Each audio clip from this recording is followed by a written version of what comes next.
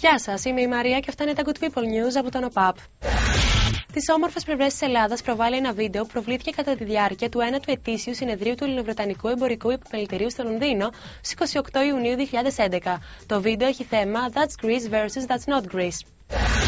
Είναι τα Good People News από τον ΟΠΑΠ.